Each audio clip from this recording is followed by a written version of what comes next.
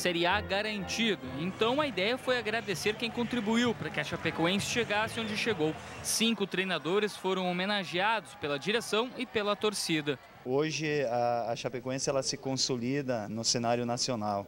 Mas dentro de campo, o time não conseguiu homenagear os ex-treinadores. Bruno Henrique pediu pênalti nesse lance. O árbitro não deu.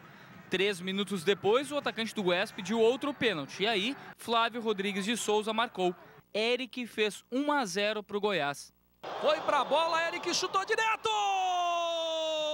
Mais uma bola parada, mas agora era falta fora da área. Fred, o zagueiro artilheiro, cobrou com perfeição e fez 2 a 0. Poster também. Foi o zagueiro, foi para a bola, cobrou direto! Deu para perceber essa diferença. Pouco mais de 30 segundos, Túlio de Melo, de cabeça, descontou.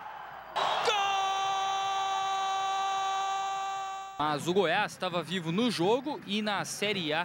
Aos 32 minutos, mais uma falta, mais uma vez Fred na bola e o sexto gol dele no campeonato. No canto!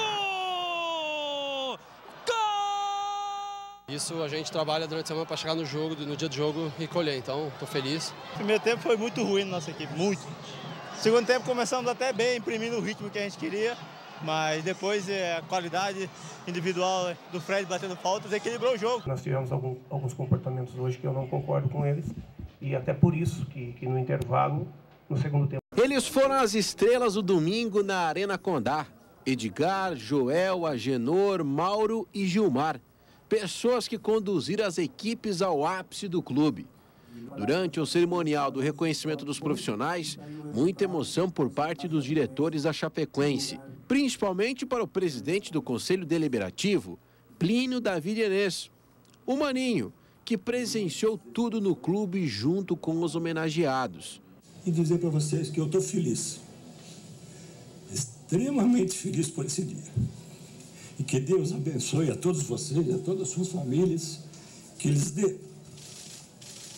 bastante saúde e que Deus ilumine sempre o caminho de vocês, por onde vocês andarem. Muito obrigado.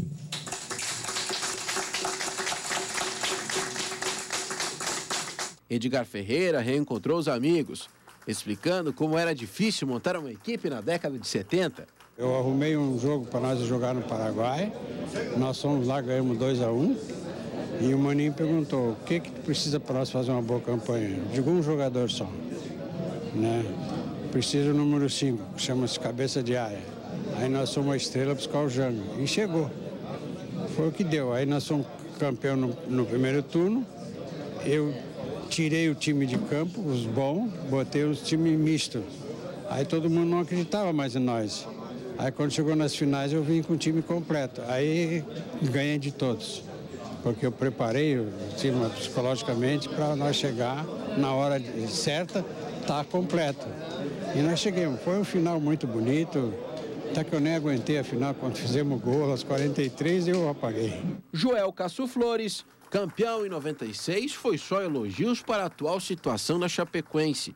O comandante do título nos anos 90 agradeceu a força extra-campo de todos. Os outros clubes não lembram da gente, né? Eu tô, eu tô falando aqui, é, eu fui campeão com o Joinville e eu, até hoje eu acho que o Joinville nem lembra mais de mim.